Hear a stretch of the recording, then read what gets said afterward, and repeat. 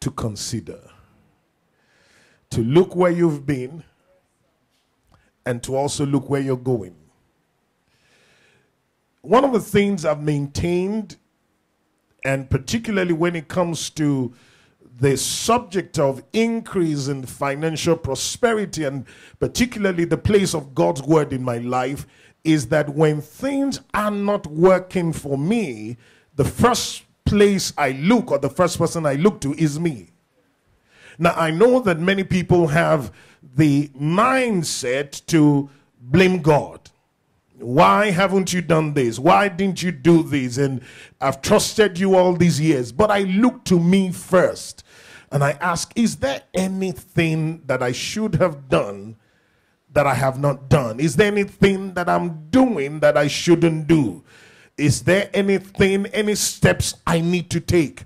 And this is what has helped me greatly in life that I'm constantly looking behind and also looking ahead because your future is predicated upon your past and your today. And I'm sure that's clear for you to understand. And I'm not talking about your past in the sense of uh, the past that is under the blood of Jesus, but I'm talking about the fact that the, your actions of today determine your future. So even your seeds of yesterday and today are going to come to full harvest for you. So if you want a great future, it means you've got to begin to do things today that would precipitate or bring that future into reality. Let me read a scripture to you this morning from Proverbs chapter 24 verse 7 and it's it's it's an interesting scripture but i believe that it's one that you will be blessed by. It says wisdom is too high for a fool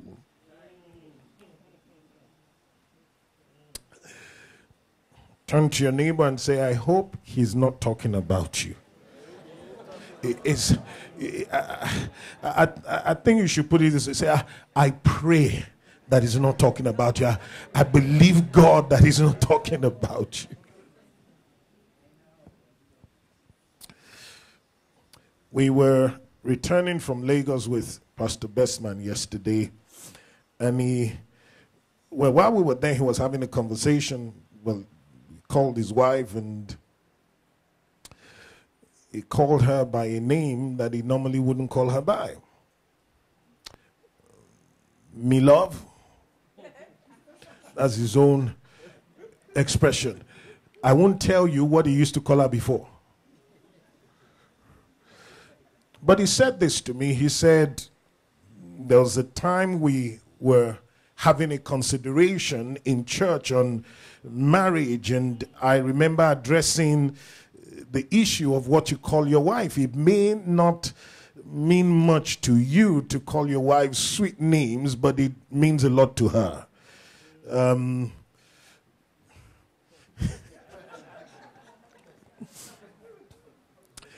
my my I remember my parents, you know, to be honest with you, they didn't use such sweet words as much as they loved each other. My my my older brother is called Benga and my f- mother used to call my father Baba Benga. that's that's Benga's father. I mean, that's just you know, and uh, I'm trying to think of what my dad used to call my mom because suddenly I can't even remember. but there were no sweet words like honey and dear. And he said to me, he said, from the day I heard that message, I stopped calling my wife by her nickname or whatever it was, and I chose a name. Isn't that right?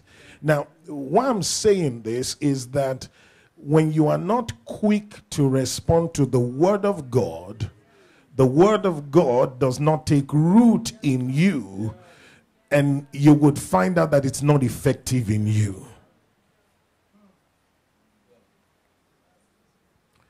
Wisdom is too high for a fool. What it means is that every time wisdom comes, a fool will circumnavigate it, would go around it, go under it, go on top of it, and find a reason to avoid the words of wisdom that's coming to them. Wisdom is too high for a fool. He opens not his mouth in the gate. Now, these this takes it one step forward. If you understand the significance of the gate, you would know, and I've shared this before, that city gates were very prominent and were a place of note for transactions, for business, for negotiations, for cutting covenant or making an oath, and all kinds of things. You would find out about the Proverbs 31 woman that the Bible says that her husband is known at the gate. If you read about Ruth and Boaz, the transaction was at the city gate. If you read about Job and all the things that he said about himself and how whenever he showed up, the young men would stand up and even the old men and, and they would seal their mouths because of the, the wisdom that came out of his mouth all that took place at the city gate if you go back to a couple of messages and uh, I, I, can't remember the, what I titled this message, but I was talking about, uh, I think it was a prayer meeting where I was talking about entering the gates of the city. Was sharing uh, about the fact that you can be in a city, but yet you are not in the city. In other words, everything is happening around you, and you're not a part of what is happening. Are you getting what I'm saying? So you're in the city, but you're not in the city. You don't understand how the city runs. You don't know what drives the economy. You don't know what even drives the spiritual environment. If I ask you what drives the spiritual environment of Abuja, what would be your response? Money.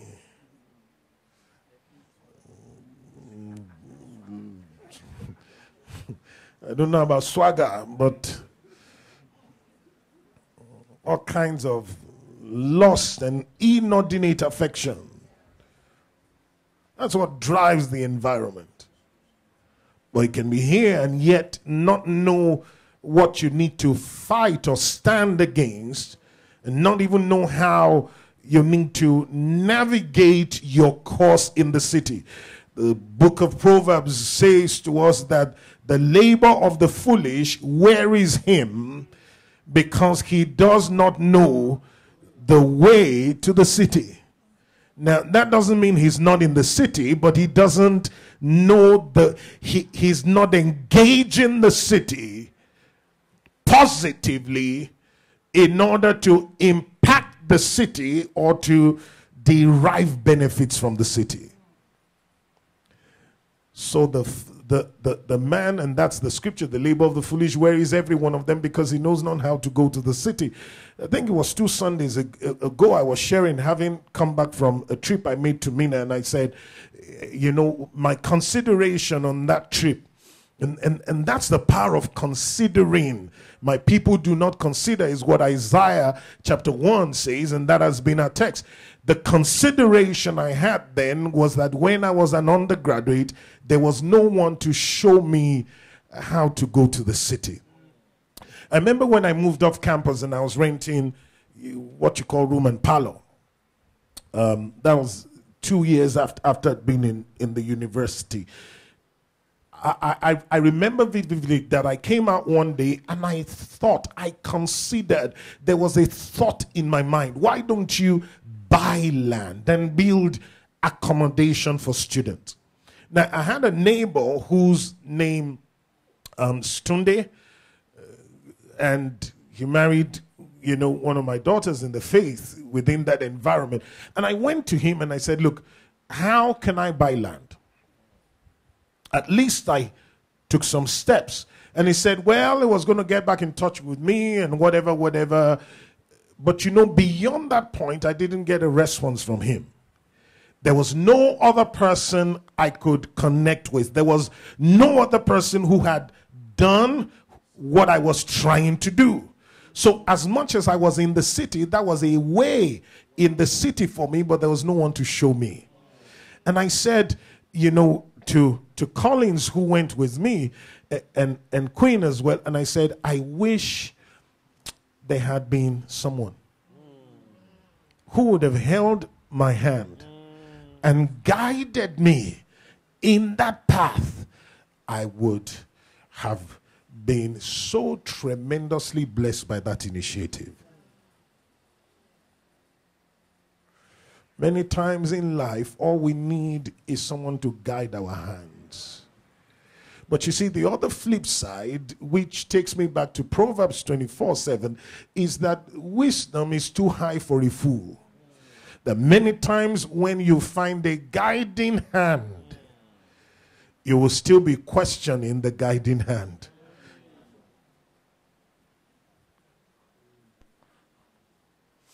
That happens a lot.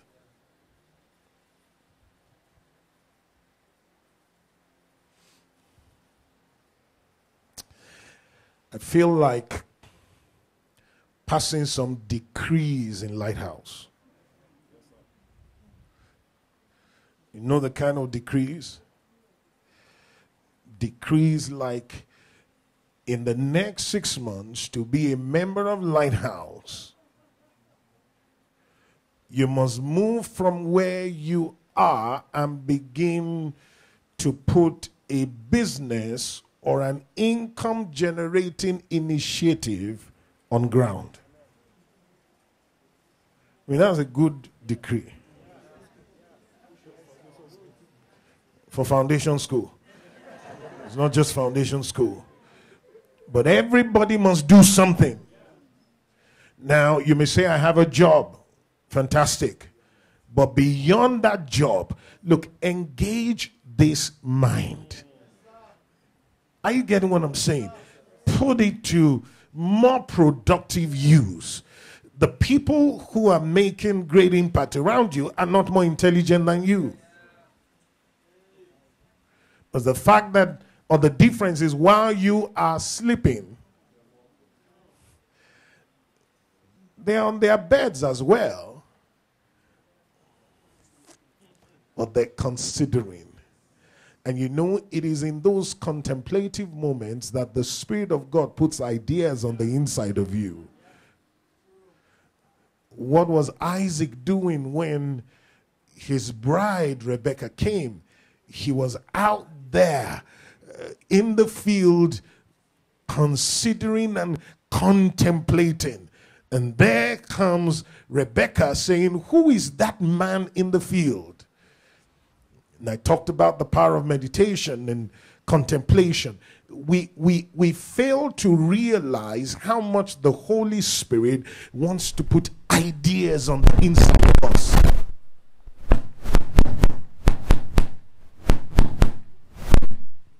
What's that?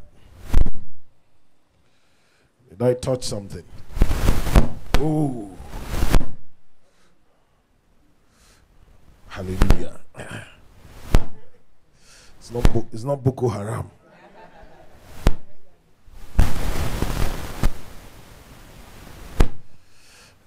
Hallelujah.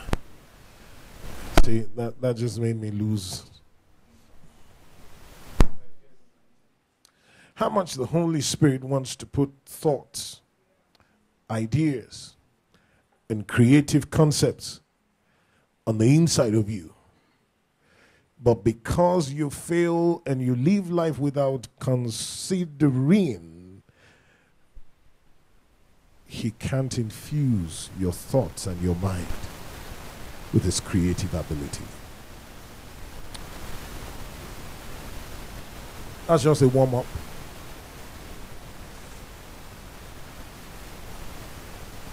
Let me share with you today on walking the path of honor. You need to get rid of that noise as quickly as possible, please. I know it's not a regular place of meeting, but we're having to make do with what we have. So say to your neighbor, walking the path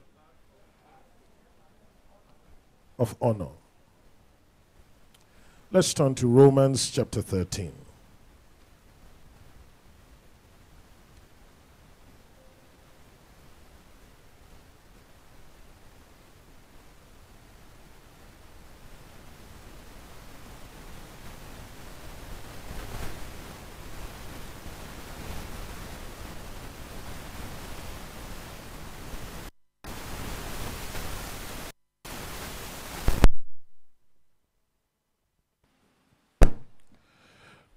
Are you there?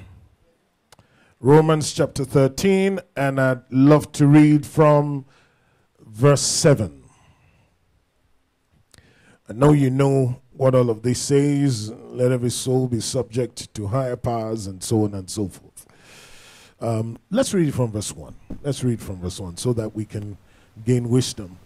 Let every soul be subject to the governing authorities for there is no authority except from God, and the authorities that exist are appointed by God. We make a mistake very often when we a politician, I think it was Jonah Jang, who said, let me remember how he said it. He said, rigging elections may not be right, but if you succeed, it's the will of God.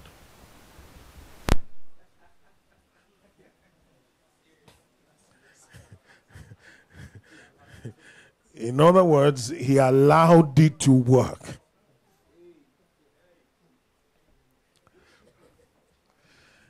Can God raise a person to leadership? Yes, He can. But when the Bible speaks about governing authorities that are being ordained by God, there's much more, much more credence and illumination and truth to the fact that the seats of government are God ordained. There is no government but of God. Are you getting what I'm saying? Because if not, you would think there have been some tyrants who have ruled upon the face of the earth. You think Abacha was called of God and so many things. Are you getting what I'm saying? You think God is is is the one who established him. Now that does not mean God can establish a person. Well, if we read that scripture within the light of truth, take me back to verse 1. That's, that's where I still am. Let every soul be subject to the governing authorities, for there is no authority except from God, and the authorities that exist are appointed by God. So in society, you're going to find seats of governmental authority and all of that structure is God ordained. Let's go to verse 2. Therefore, who resists the authority resists the ordinance of God, and those who resist will bring themselves on to or bring judgment onto themselves. Now, and that's not even where I'm going. I don't have to like the president, but I need to respect him can keep my dislike um, to myself. Uh, left to me, when I look at our political system, there's some people that should be in jail. And some of them are ministers of the Federal Republic, locked up, key thrown away. Not just thrown away, but thrown in the pits of hell. Because they do not represent change as far as I'm concerned. But because they occupy a seat of authority, I give them respect because they occupy it. it. Doesn't change my opinion about where they belong. And I don't need to call names because one may be your uncle.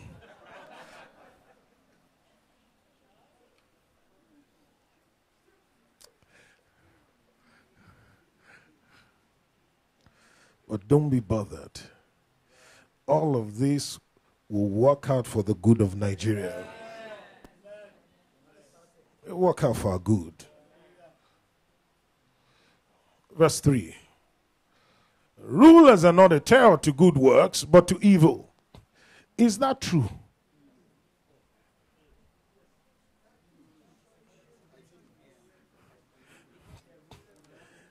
That is that is what is ideal. Rulers are not a terror to good works. In Nigeria,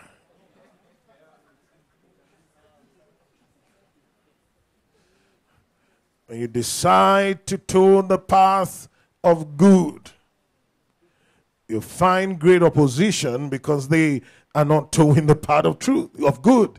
Now, when when scripture puts this there, there's a reason why. Because God is painting an ideal picture. And he's not going to adjust his ideal because men choose to violate the you know truth and the path of justice. Uh, do you want to be unafraid of the authority? Do what is good, and you would have praise from the same. Hmm. Don't want let's let's leave that. for he is God's minister to you for good. But if you do evil, be afraid, for he does not bear the sword in vain. For he is God's minister and avenger to execute wrath on him who practices evil. Therefore, you must be subject not only because of wrath, but also for conscience sake.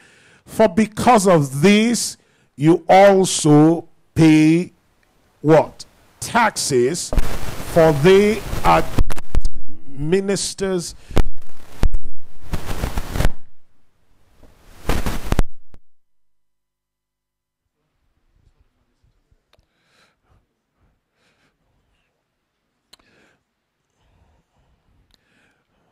Therefore, you must be subject not only because of wrath, but also for conscience sake.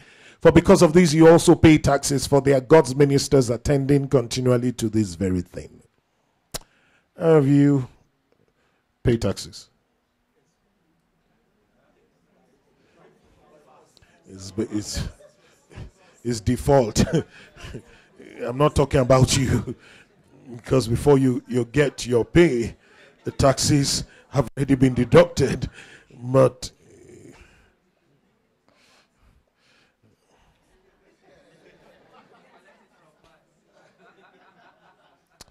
if you don't pay taxes, you have no right to say what are they doing with our money. Unless you're a taxpayer.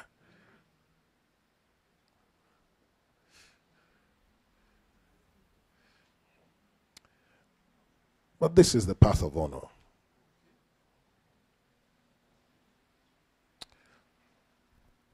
The path of honor simply requires of you to do the things that are necessary or required for you to do, whether or not you are under observation by spiritual, naturally, natural authority or under observation by people.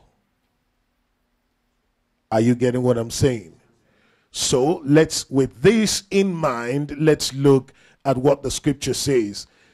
Render therefore to all their due. Taxes to whom taxes are due. Custom to whom customs are due. And this is not talking about Nigerian customs. This is talking about the fact that every society has its own customs and has its own value system. And therefore, within the context of that, there are certain requirements of you. There's, there's a saying that you don't go visit your father in law to be and when you're meeting him for the first time, you bring out your hand, particularly if it's from your village. And I didn't mention that village. I know, you know, um, my sister in law's um, uncle. Uh, there was a young man who was coming to marry from the family and he, being the next governor, and the day the young man came, he just stood and said, How you doing? They've been married for over 12 years.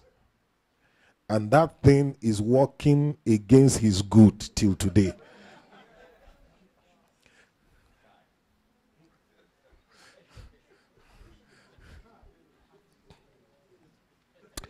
as long as custom and tradition does not violate the word of God, you need to render custom to who custom is due and not try to change the customs of people. Are you getting what I'm saying?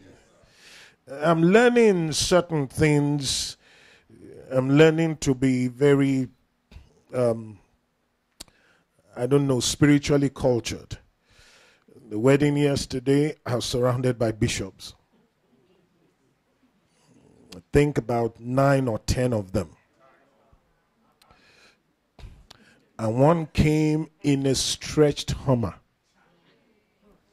That's, that's his regular car.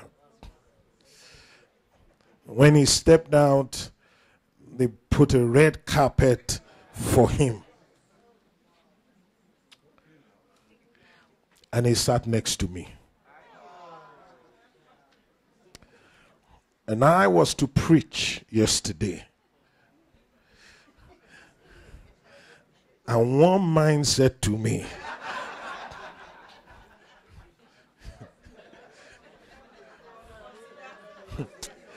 but I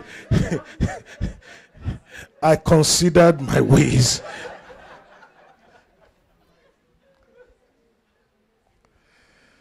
Because there's some things that shouldn't be in the body of Christ.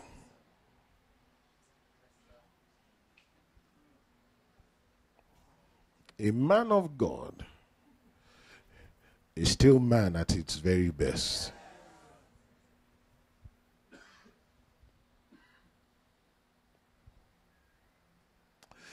Let's leave that. So I gave honor.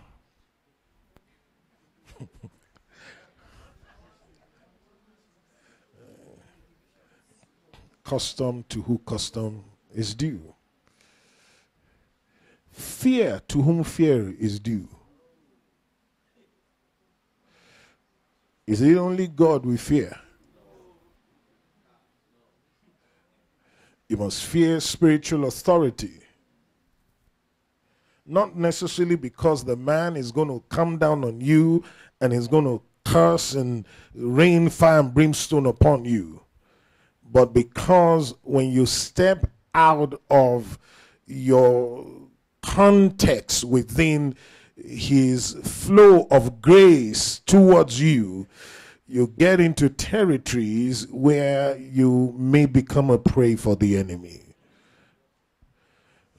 The Bible says God in Ephesians chapter 4 has set some in the church. Now I know that men set themselves. That's that's not those I'm referring to, but God set some in the church and he set them as ministries within the church. And we must recognize those whom God has set and line up and key up with the grace of God so that it can benefit us and also be careful not to get too familiar with the anointed. Yeah, you won't, you won't understand what I'm saying. If not, one day you will say to the anointed, uh, you know, when when you pee, you should pee to the front and not to the left.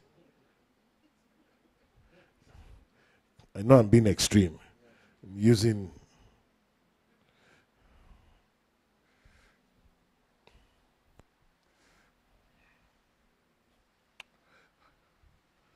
honor to whom honor is due.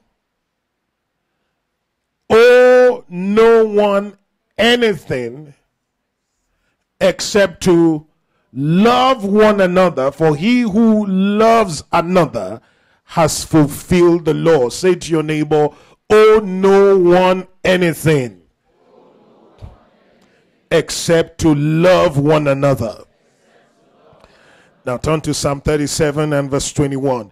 There is a culture among believers that needs to die today. So I'm here as an undertaker whose assignment is to bury certain things if they exist in your life. The wicked borrows and does not repay. Uh, turn to your neighbor and say, I hope he's not talking about you.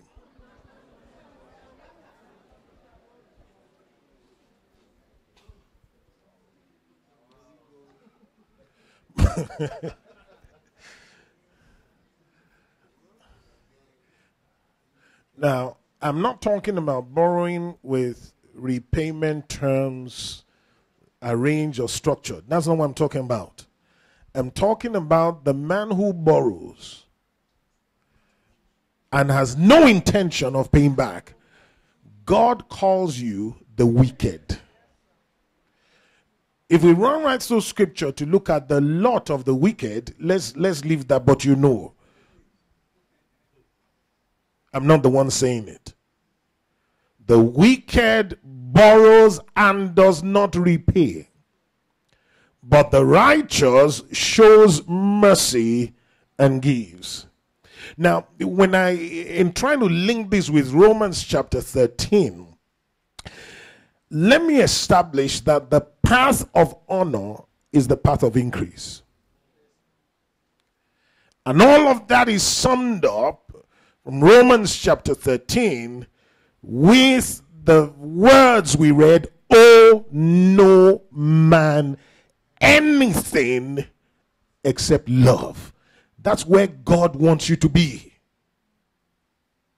That ultimately you will not be a debtor to anyone. If you're a debtor for anything, you owe people love and you must pay it.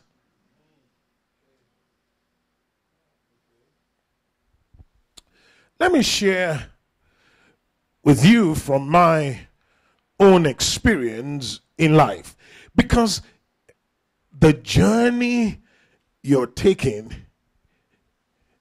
is a journey of many days.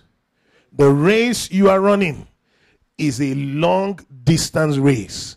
And the way you relate to money is indicative of your character.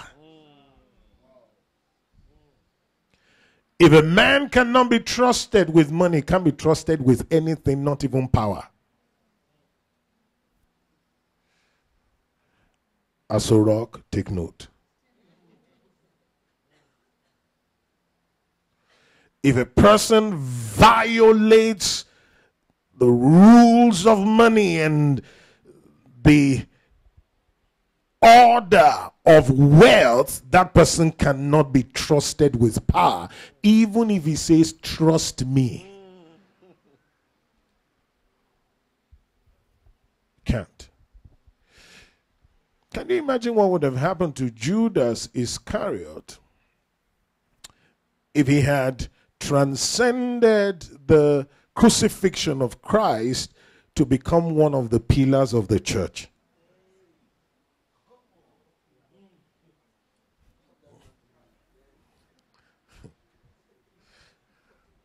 You see that late at the apostles' feet?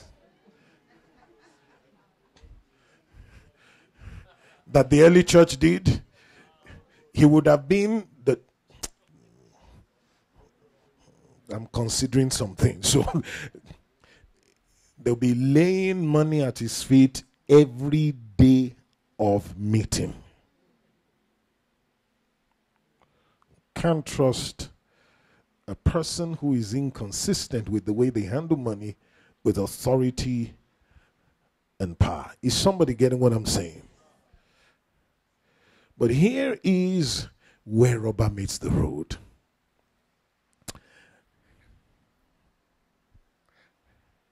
In my years in ministry, I found lots of believers lack honor in the way they handle money particularly when they borrow.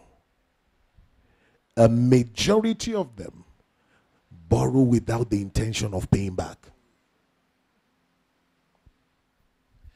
And what they don't realize is how that eventually affects your prosperity.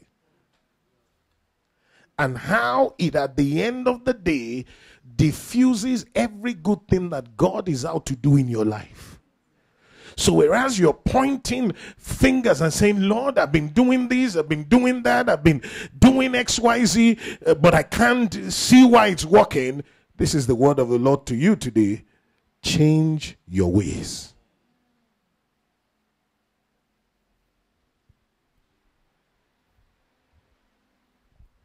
Say to your neighbor, change your ways. Is a deliberate reason why this word is coming.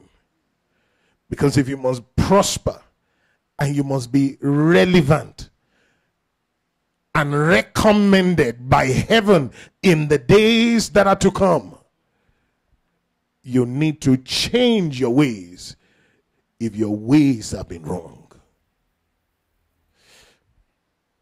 Have I borrowed money before? Let, let me let me let, I'll share two stories with you.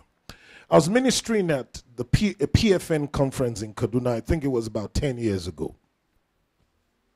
And here was I preaching. I can't even remember what I was talking about, but it, it had nothing to do with money. I met a young man afterwards who came to my office and he said, Pastor, I want to see you. So he sat down in my office and he began to tell me a story. What was his story? He said, You were preaching and you convicted me by what you said. And I said, What did I say? And when he shared what I said, it had no correlation with the conviction. And that tells you that the Holy Ghost can move beyond words and can impact you and bring conviction to you. And this is the story. A pastor and his wife started a church and they took him in. I mean, he was a wanderer, a nobody really, didn't have a place to stay, and they took him in as a son. And having been with them for a while, they put the offering in his hands. Now, while he was with them, they were paying his school fees and they were giving him some monthly stipend just for his upkeep, and he was living with them. But the spirit of Judas came on him, and he began to take from the offering. And in that meeting, something I said convicted him, so he came to me to confess. And I said, well, confession is a first step towards, you know, repentance or, and, and all of that, but this is what I want you to do. I want you to go back to them and go tell them what you've been doing. And he said, Pastor, that's, they're going to kick me out. I said, trust God. If you walk that path of honor, Let's see what God will do. So he went back to them and sat them down. And he said, Well, thank you for accepting me and all, but in the last couple of years, this is what I've been doing. And they were shocked because they didn't know. And they said, Well, we appreciate the fact that you came to tell us. We will take the purse from you. We won't kick you out of the house because you came and owned up we will increase your monthly stipend. We will continue to pay your school fees. And he came back to thank me because all his fears were suddenly allayed completely because he walked the path of honor.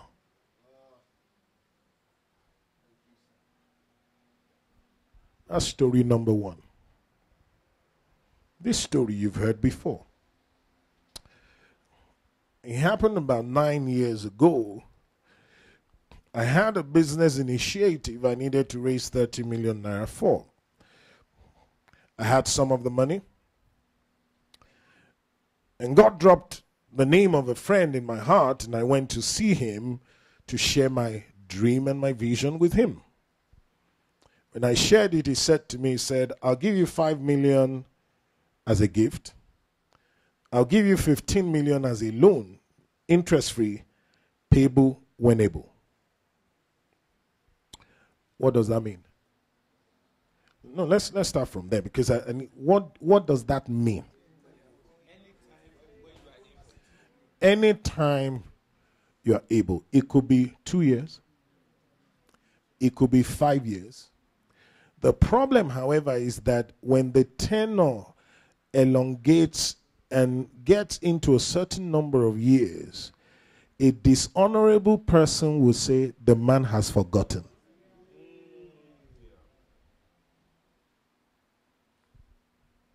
That's what a dishonorable person will say. How, how can you be remembering death for that long? Haba. Have you ever owed the banks and wished that the branch caught fire?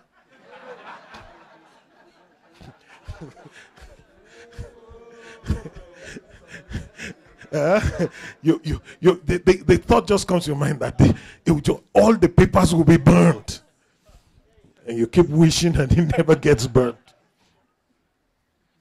After about 18 months, I, I think it was about 18 months, I went to see him because I had part of the money and I didn't have the balance. And I needed to say, hey, this is where I am. I know it's payable when able.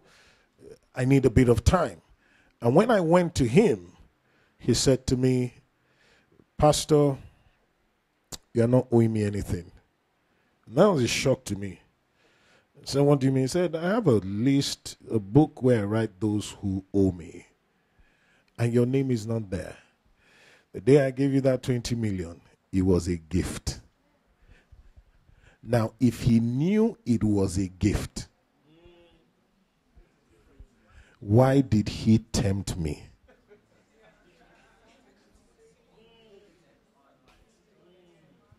Why didn't he just say it was a gift and I would go on, you know? But he said 5 million was a gift, 15 million was a loan, interest fee, payable when able. When people test you,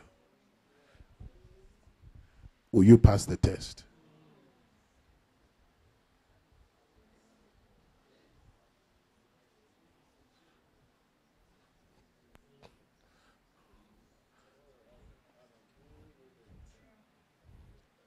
Will you pass the test? Or will you just walk on false assumptions like, does he really need the money? What difference will it make if I if I go and give it back to him. It may be a hundred thousand naira. Uh, how, how much is fifty thousand naira? By now he has forgotten. Even if the person has forgotten, it is honorable to go back and say, "Can you remember this amount of money you gave me?" And let the person say, "Oh, I've forgotten." and leave it open if he says, I still need my money back. The path of honor for the sake of your future life and for the heavens to pour out upon you. Walk the path of honor. It's better to go and say, Can you give me more time? Can you give me one more year? And even if that one year has expired and you've not been able to redeem it, uh, can you give me uh, just six more months? In church, let me tell you what the trend is. And I will mention names because they're, they're gone. When you see people leave church, there's always a reason. And the reason often is not what they tell you. Trust me. Some have collected money, they've refused to pay back and then when Pastor Ayo calls them, you, you see, that's the problem about being a debtor. Because when you're owing, and particularly when you're not doing the path of honor, when the person you are owing calls you, your heart will jump. You say, He's calling me now because I'm owing him. Father has a principle that may not necessarily be scriptural, but it works for him. And he told me, he said, when my friends come to borrow money from me, from him, he says, look, if you come and you say you want a million naira, he'll, he'll look at you and say, here's 200,000 naira. It is a gift, don't pay back. Reason? If I give you one million and you can't pay back, you start avoiding me. When I start calling you, you say I'm harassing you. So that our friendship will not be destroyed. Take this as a gift don't pay back. It has worked for him. Because many of us lose people. Not because we're at fault, but because the people themselves who do not walk the path of honor. Can we go deeper?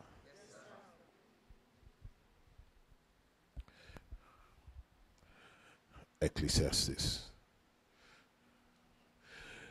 When God says, Oh, no man anything, is not just talking about money.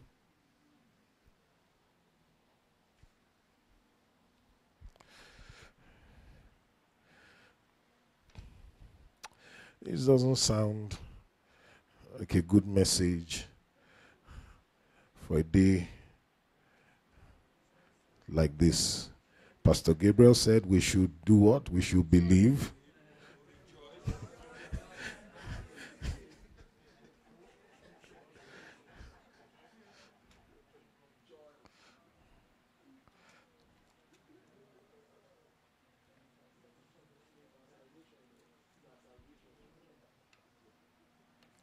You want God to bless you? You can't be violating one principle and then expecting a promise from another. You can't be dishonorable towards money and be expecting Him to bless and increase you. Listen to me, I would rather the whole world owes me than to owe anybody. Can I say this to you? That I never forget my commitments to people. About eight years, I don't think it was, it was about eight years ago. I remember going to Minna and I made a commitment at Pastor Joshua's church.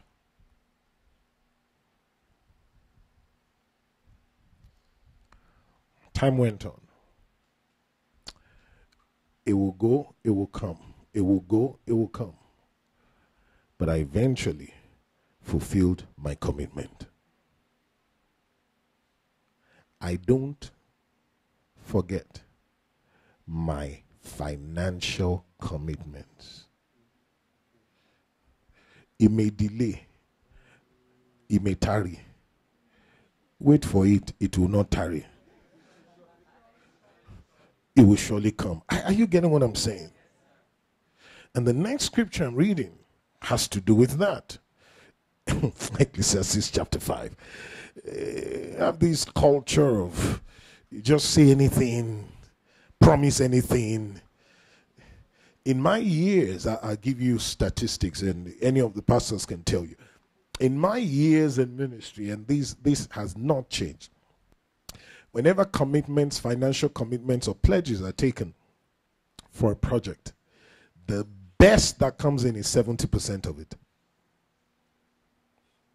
So if you're raising 10 million naira, the best is 7 million. And I'm talking about best. Many times it doesn't even get to that. And yet people can feel slips on paper. I mean, feel f- figures on, on paper and submit it. And they just walk away and never redeem their commitments. And they say, Well, God understands. Let's find out if He does. Hmm?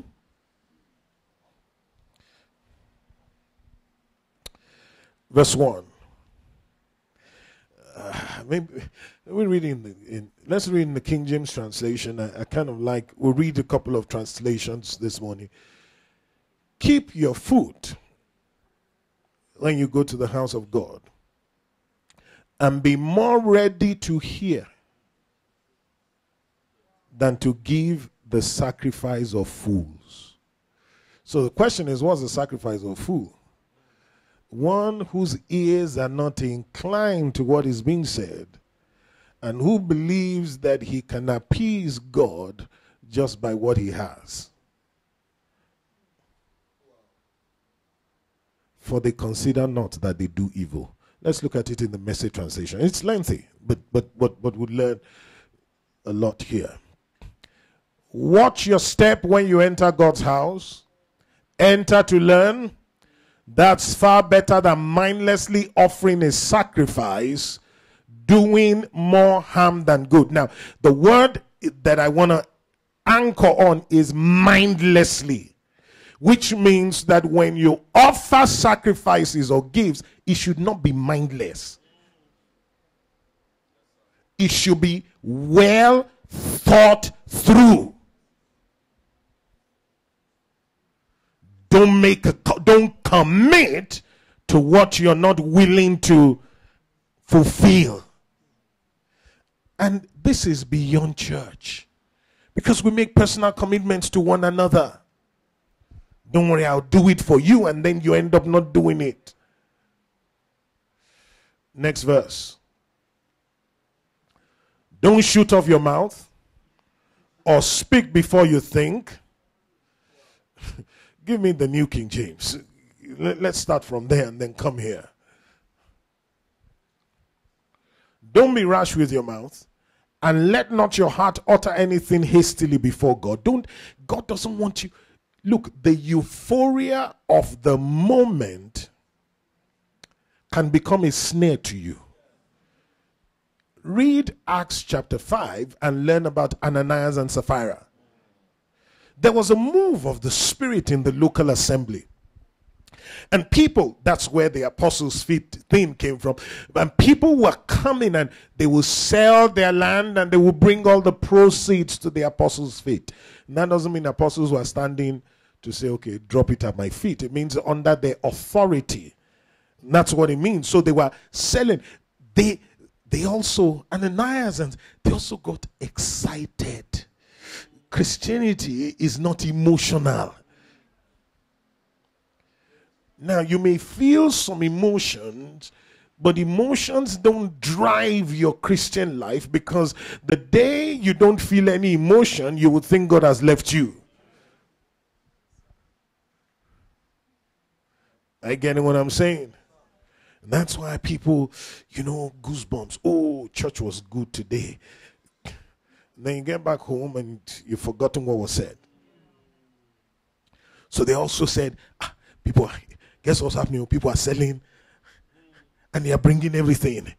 And they say, We too will sell our land. And the apostle said, Great, go sell and bring. When they got home, and the emotional sensationalism of the moment went down, and Ananias called his wife Sapphira and said, Honey, how far now? Uh, can we reconsider that thing? And that wasn't bad in itself. They sold it and they brought the money. And Peter stood up because he came first. And Ananias came first. How much did you sell the land? Five million. And he said, Why did Satan fill your heart? To lie to the Holy Spirit. Now, you know, the whole, see, you, you don't get something. The Holy Spirit was not there, it was Peter. Uh, I'm going somewhere with it. When they lied, they thought they were lying to Peter. But because it was a move of the Spirit, they lied to the Holy Spirit. And here is what Peter said Why did you allow Satan to fill your heart. Fell down and died. Here comes Sapphira. I don't know if they had children. She showed up. Hey, Peter, how you doing? How much did you sell the land? She discounted it. You too. The feet of those who went to bury your husband is at the door. She fell down and died. You know what happened after that? Great fear filled the church. Those who are fake disciples withdrew themselves. And they said, if people are dying in this church, Pastor Ayo, take back your foundation school certificate.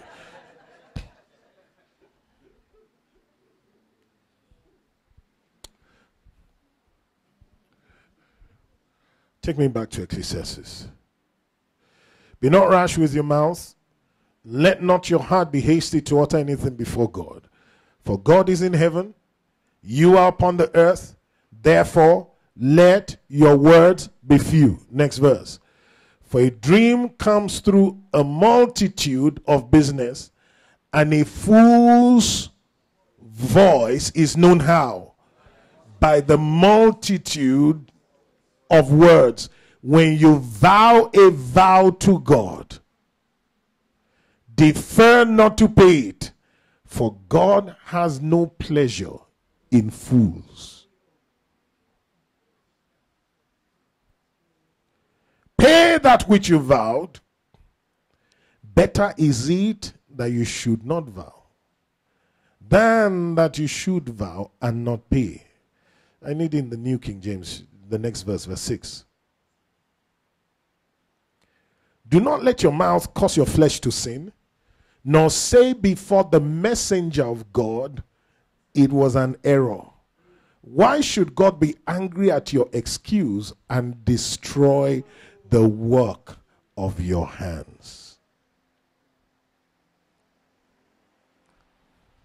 So ultimately, what happens when you don't walk the path of honor? The work of your hands gets destroyed. Hey, guy, you have holes in your pocket. You say, but Pastor, my pocket does not have holes. You're traveling one day, your engine knocks. I tell you, it cost you 600,000 naira to change the engine. Your vow was 200,000.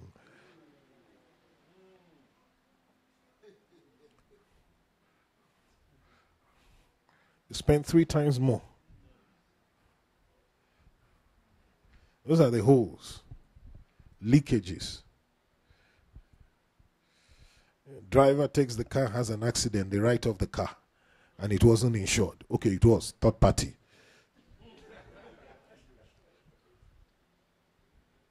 Your sin is the devil. No, check yourself.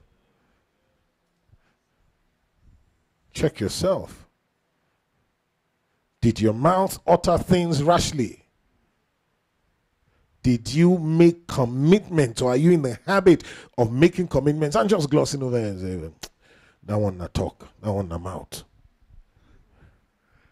Now, what did somebody call it? Pulpit gymnastics. Motivating people to give. Where you say, we're raising money, raising 100 million naira. The man of God will come up and say, I'm giving 10. So that can motivate other people to give. Then he does not fulfill his own commitment. Says it's, it's faith booster.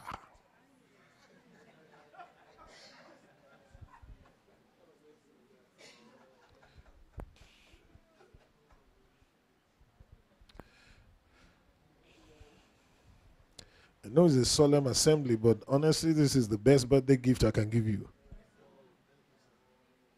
Consider your ways and change your ways. You want to be blessed? This is the path of honor. In your relationships, if I would rather allow someone cheat me and for me to cheat someone else. You can cheat all you want. If they ask you for your cloak, what did Jesus say? Give them your coat. If a man says, Let's go one mile, what do you do? Go two miles with him. That's the, the, the law of the kingdom. That you can go the extra mile. That, and I'm not saying you become one that people just rob in broad daylight. But instead of someone saying, you cheated me. Take everything and go with it. We'll compare notes in three years. We'll compare notes. I shared the story of Dr. Falokpe, who we had ministered to us last year at the men's convention. started a drilling business. It's a dear friend. Started a drilling a, a water, um, what do they call it? Ball, yes, hydrogeology, whatever they call. And his son, his friend's son, he's not a geologist, but he had the contacts. His friend's son came to serve with him. And he said, Look, why can't he also become a director in the company? So he put him on the board. And they started having all kinds of projects and they were drilling for water and all of that. There's something about youth. There's a danger of youth foolishness abounds in the heart It's not just of a child, of an uncultured young man. went to him one day because Dr. Falokpe is a prudent man. This young man was spending everything. So Dr. Falokpe built a house, and when he went to the dedication, he said, God, this man has been cheating me. Let's split the company the path of honor. Both of them belong to the Full Gospel Businessmen's Fellowship. And Dr. Falokpe said, I don't want to be a part of the splitting process. We'll hand it over to the Full Gospel Businessmen's Fellowship. Check all the assets, divide it any way you want. Abraham and Lot. Oh God. God had increased them greatly. And there was strife between the herdsmen. So they came to agreement. Let, let there not be strife between us. Choose anywhere you want, and it is yours. Lot. You see the foolishness of youth. Custom to whom custom is due, fear to whom fear is due. When you are with an older person and you are to make a choice, let the older man choose.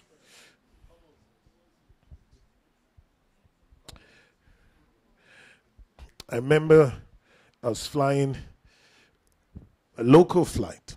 It, it happened to me a couple of times. I'm in business class. I remember seeing my wife's sister's husband. What's that? Is it is it brother-in-law too? Because some of these things confuse me. Maybe that's why some people just to defend they say my cousin sister and cousin brother. cousin. if you say Esther, my cousin, I know it's female. You have to say cousin, sister. Say Chijioke, my cousin. Unless it's Kathleen and Bruce. so here am I sitting down And he walks past and I, hey, hi, Shola, and all, and he walks back and he's in economy. I say, God forbid. Go to him, sir. Go and sit in my seat. I'll sit here. No, no, no, no, no. Go and sit.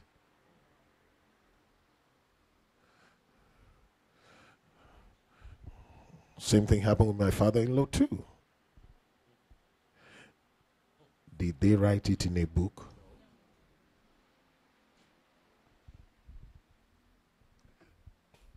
I know if it's you.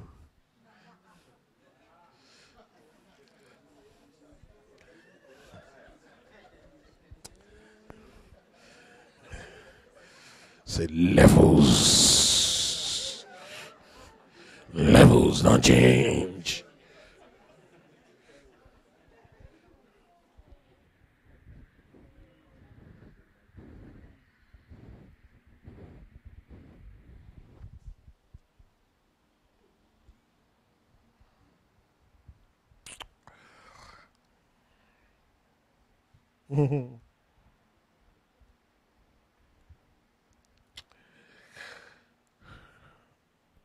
I pray that you would have a deep sense of respect for those who are older than you. If Lot had just said, Abraham, you're my father, because his own father was dead, you're my father, choose for me. Whatever you choose is mine. The man looked with the eyesight of youth and saw a land that looked so good. Said, I choose. Abraham said, You've chosen, go. By the time he'll return, he had 70 kg of salt. that he came back with. If he had only deferred to the aged.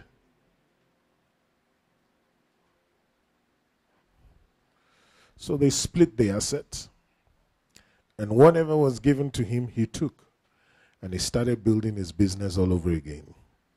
Five years down the line, the young man had sold everything, was out of business, couldn't find a bearing in life.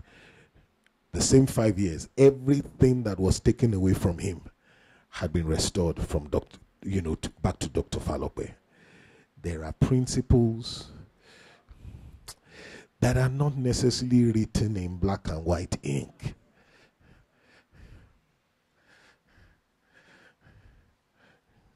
You may not see it, but they work.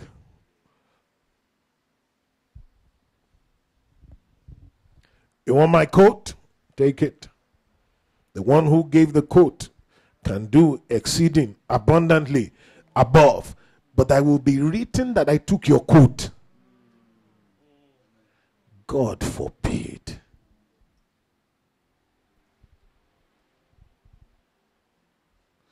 Give me that Ecclesiastes 5 in the message and let's read it completely. Um, the message translation. Take me back to two verses. I'll soon be done. When you tell God you do something, do it now. God takes no pleasure in foolish gabble. Vow it, then do it. Far better not to vow in the first place than to vow and not pay up. Don't let your mouth make a total sinner of you. When called to account, you won't get by with, sorry, I didn't mean it. Why risk provo- provoking God to angry retaliation?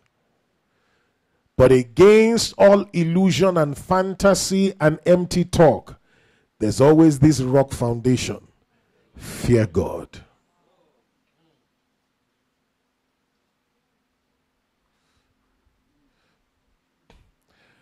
This is another interesting one. Don't be too upset when you see the poor kicked around and justice and right violated all over the place exploitation filters down from one petty official to another. There's no end to it, and nothing can be done about it. It will continue to happen. As that the nation must keep fighting it. Say to your neighbor, watch your mouth. Watch the commitments you make to people. Mm.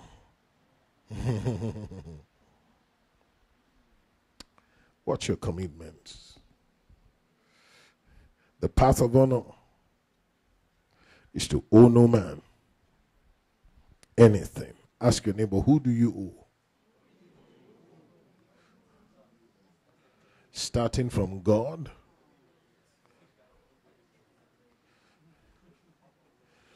It's not just giving that is the key to increase honor in and walking honorably in your finances is also the twin brother to the key to increase. Ecclesiastes says, Why would you allow God to destroy the work of your hands? If you read it in the King James, it says, When you vow, are you not afraid of the angel of God? The New King James translates it as messenger of God you may lose it there or the import of it there. Aren't you afraid of the angel of God when you connect that with the book of Hebrews, chapter 1? Are they not all ministering spirits sent forth to minister for us who will be heirs of salvation? So angels minister for us. And they just don't minister in the area of deliverance, they also minister to us in the area of finances. It's an all encompassing ministry that they have towards us. So when your words and your heart do not align, and you're one who keeps making promises that you violate, you actually stifle the ministry of angels. They can therefore do no mighty works towards you. My prayer as I close this morning is that you would choose to walk the high ground. And the high ground is the path of honor.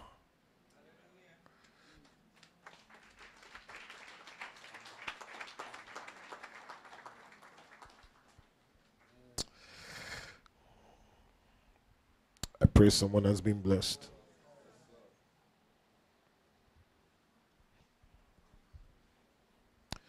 So say to someone, Oh, no man anything. God requires one debt of you. It's called the debt of love. That's the only thing you're permitted to owe. Uh, I believe that the people here today who need to repent. Because